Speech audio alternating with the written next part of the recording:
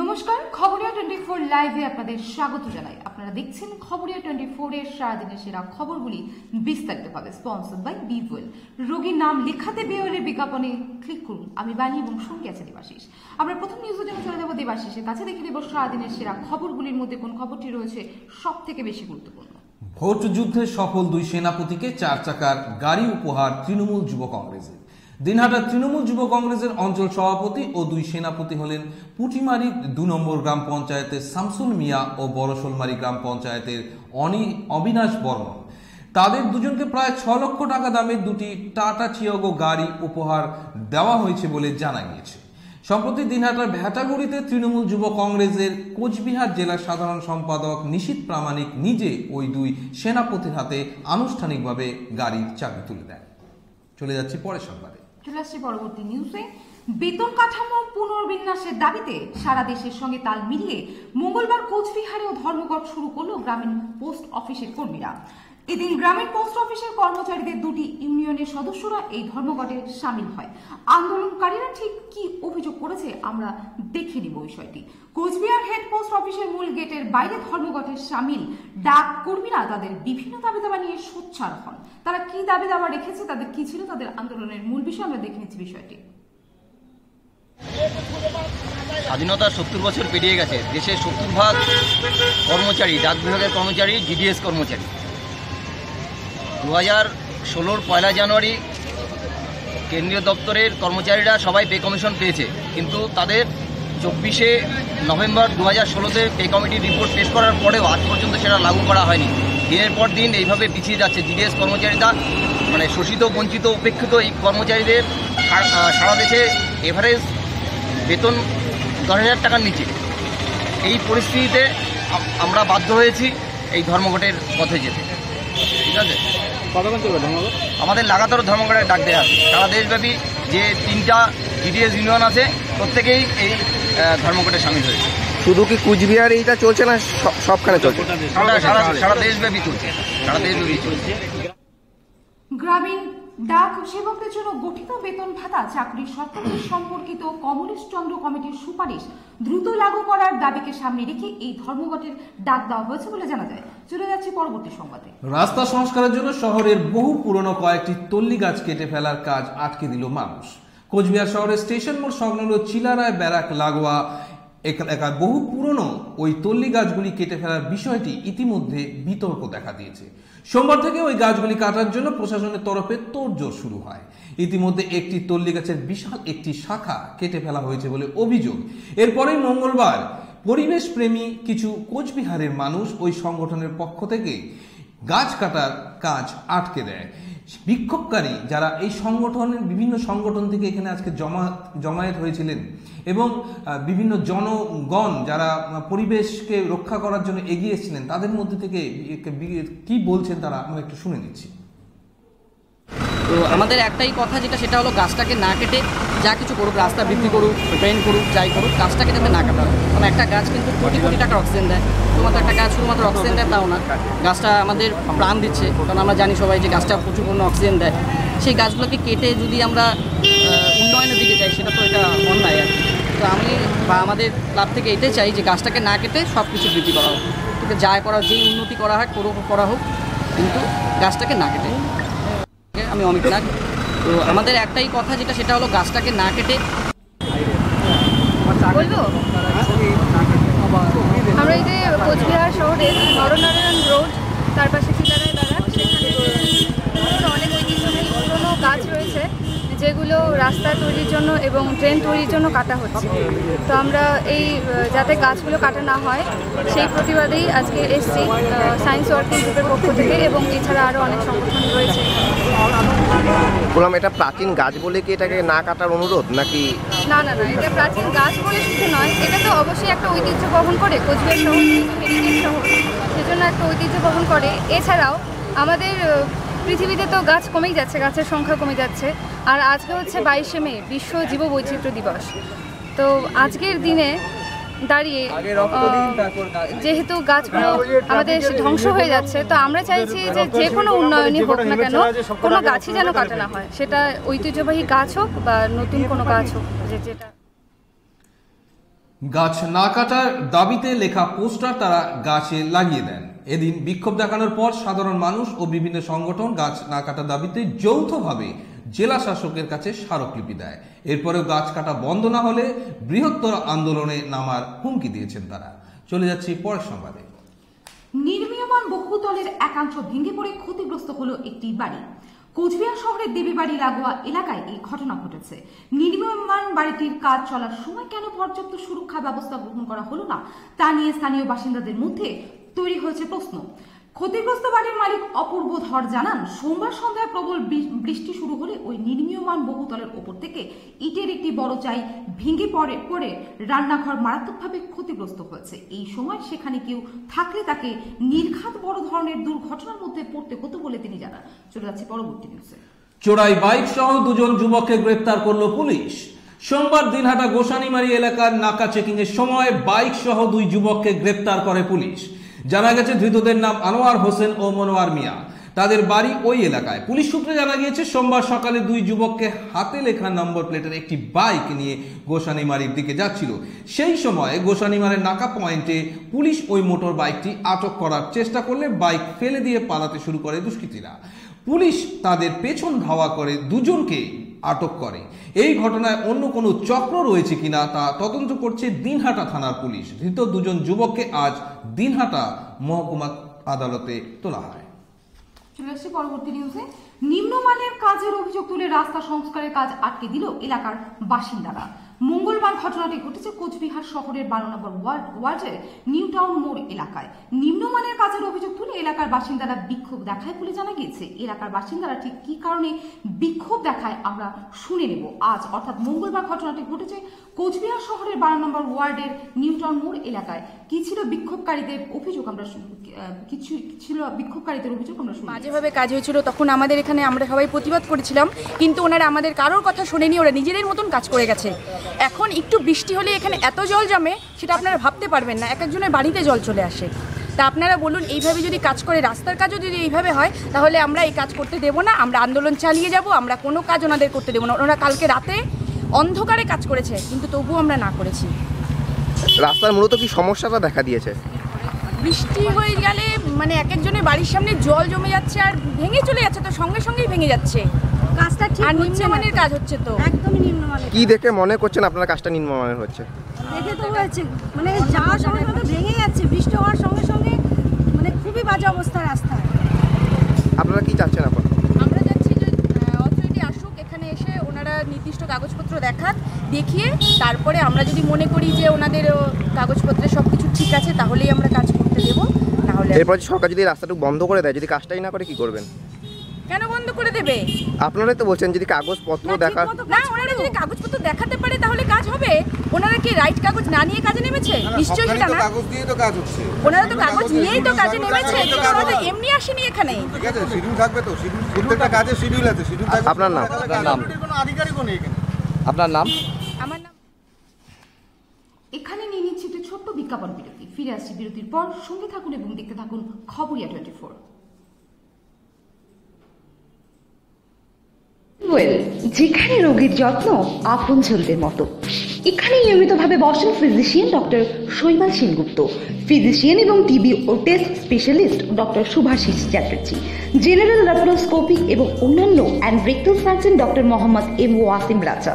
শিশুরোগ বিশেষজ্ঞ doctor Navlin Chakraborty. Oral ও দন্তরোগ বিশেষজ্ঞ অনির্বাণ সরকার এবং ডায়াবেটিস থাইরয়েড ও গ্যাস্ট্রোএনোলজি বিশেষজ্ঞ ডক্টর ইসার সাহা এবং প্রসূতি ও স্ত্রীরোগ বিশেষজ্ঞ ডক্টর ভাস্কর জ্যোতিমানি চিকিৎসকদের জন্য আধুনিক মানের চেম্বার, ন্যায্য মূল্যে ওষুধের দোকান ও খুব শীঘ্র গড়ে উঠেছে অত্যাধুনিক মানের pathological lab digital X ray ultrasonography echocardiography রোগীর নাম লেখাতেও নেই কোনো ঝঞ্ঝাট। W W W dot Khabariya twenty four dot com পেজে গিয়ে বিওএল এর বিজ্ঞাপনে ক্লিক করে নাম লেখাতে পারেন অথবা ফোন করুন এই নম্বরে।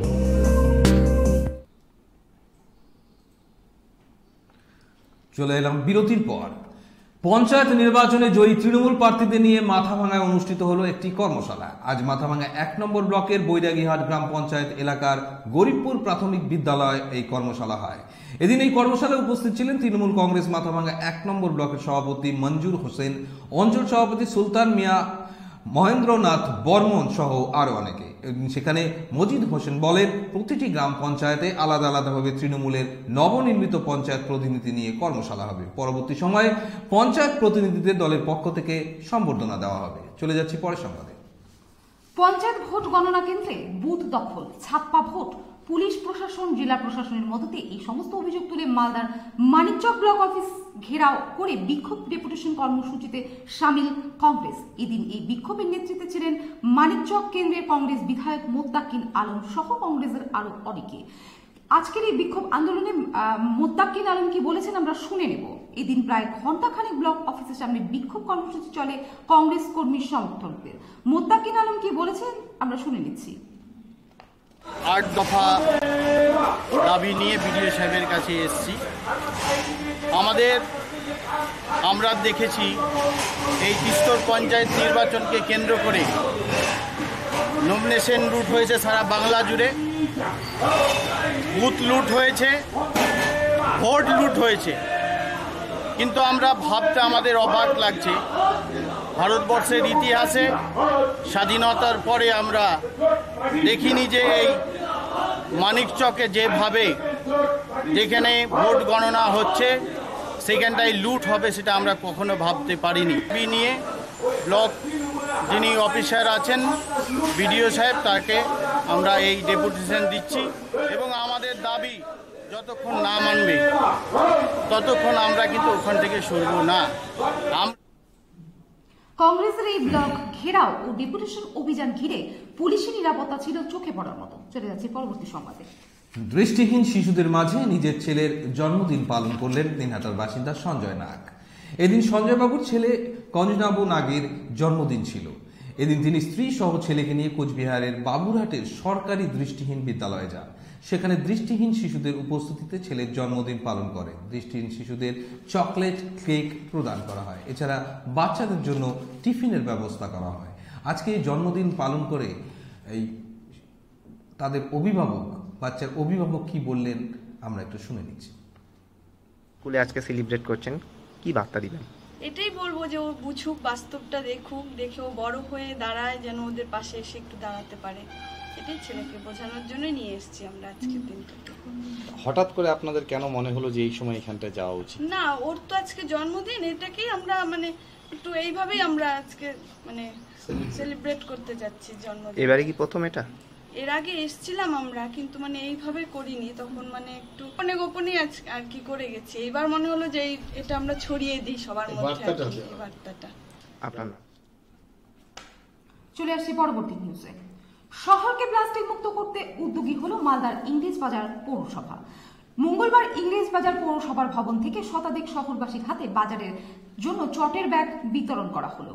উপস্থিত ছিলেন চেয়ারম্যান নিহার রঞ্জন ঘোষ সহ পৌরসভার কাউন্সিলর ও পৌরকর্মীরা। পুরো পুরো নাগরিকদের হাতে এদিন দুটি করে চটের ব্যাগ তুলে দেওয়া হয়। চেয়ারম্যান নিহার রঞ্জন ঘোষ বলেন, যারা এক বছরের পর পৌরসভাকে দিয়েছে, তাদেরকেই দুটো করে চটের ব্যাগ দেওয়া হয়েছে। একটি ব্যাগ নিরামিষ বাজারের জন্য বড় আকারের ব্যাগ ও আমিষ বাজার করার জন্য ছোট ব্যাগ।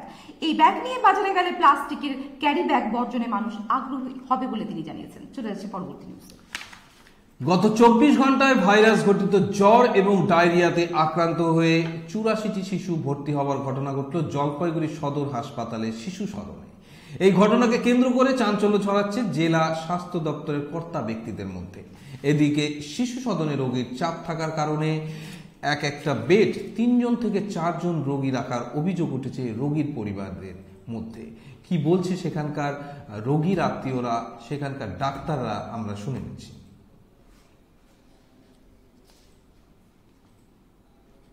এক বেডে হ্যাঁ এক বেডে তিনজন ছিলাম অসুবিধা একটা- হচ্ছে? হ্যাঁ তার মধ্যে আমাদের বাচ্চা ধরুন আমাদের সাথে তো থাকতেই লাগবে এক বছরের বাচ্চা বটে আমরা নিচে শুলে ওর শোয়া হয় না ওকে যদি আমরা পাশে শুয়ে তাহলে পাশের বাচ্চা শোয়া হয় না এরকমই হচ্ছে তিনজন শুয়েছিলাম কালকে আমরা কালকে তিনজন ছিলাম আমরা এই- এক বেডে? হ্যাঁ এক বেডে তিনজন ছিলাম অসুবিধা একটা- হচ্ছে? হ্যাঁ তার মধ্যে আমাদের বাচ্চা ধরুন এটা হলো ঠান্ডা গরম একটু বেশি হওয়ার জন্যে দেখছি আমাদের মেডিসিন ওয়ার্ডে পেশেন্ট অনেক বেড়েছে। মেডিসিন এবং পেডিয়াট্রিকে একটু পেশেন্ট বেড়েছে।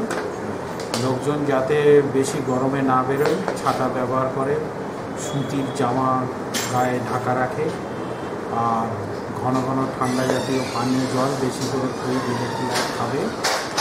আর চট করে আবার বেশি ঠান্ডা জল খাবে না, যাতে গলাটা চোখে না হয়। আর এই সময় ভাইরাল ফিভার হওয়ার সম্ভাবনা অনেক বেশি থাকে। এইগুলো সচেতন থাকলে আশা করি মানুষের রোগ থেকে একটু কম যে কোনো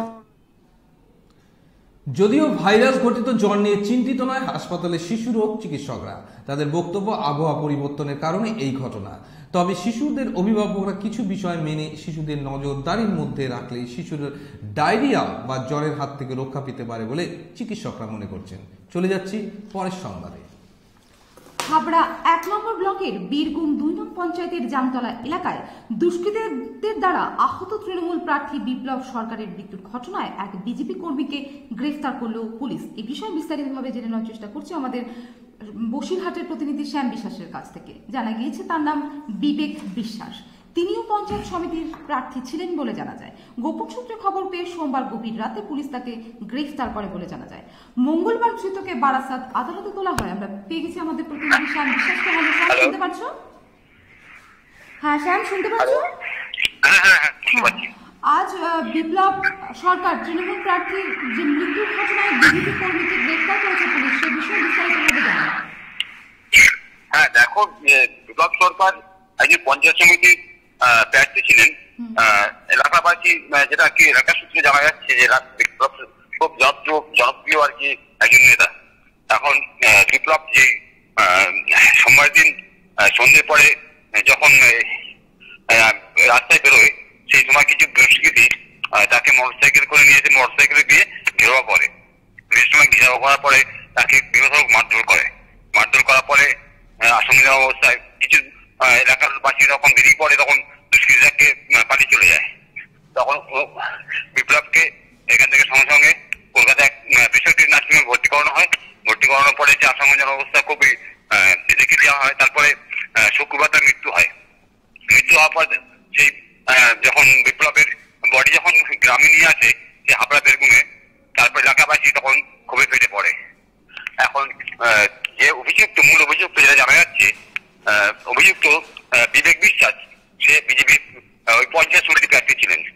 এবার সেই বিবেক বিশ্বাসের উপরে প্রত্যেকের আহ, উড়ে আসে। এখন বিপ্লব সেই বিবেক বিশ্বাস বাড়িতে বাড়ি থেকে পলাতক সে এখন পাওয়া যাচ্ছে না। তারপর পুলিশ কোনো ক্রমে তাকে সোমবার রাত্রে অ্যারেস্ট করে। অ্যারেস্ট করার পরে সে স্বীকার করে যে ওই কাজটা করেছে। মঙ্গলবার আজ দুপুরে বারাসাত আদালত তাকে তোলা হয়েছে। এখন পুলিশ কাস্টডিতে রয়েছে ঠিক আছে। ধন্যবাদ, শ্যাম বিস্তারিতভাবে আমাদের তথ্য দেওয়ার জন্য। উত্তর চব্বিশ পরগনা জেলার হাবড়া এক নম্বর ব্লকের দুই নং পঞ্চায়েতের জামতলা এলাকায় বাইক বাহিনীর হাতে আহত হয় তৃণমূল পঞ্চায়েত সমিতির প্রার্থী বিপ্লব সরকার। আশঙ্কাজনক অবস্থা কয়েকদিন কলকাতার একটি বেসরকারি হাসপাতালে চিকিৎসাধীন ছিলেন তিনি। তারপর মৃত্যু হয় বিপ্লব বাবুর আজ সারাদিনের সেরা খবরগুলি এই পর্যন্ত এতক্ষণ আপনারা দেখলেন খবরিয়া টোয়েন্টি ফোরের সারাদিনের সেরা খবর স্পন্সার্ড বাই বি ওয়েল রোগীর নাম লেখাতে ক্লিক করুন বি ওয়েলের বিজ্ঞাপনে।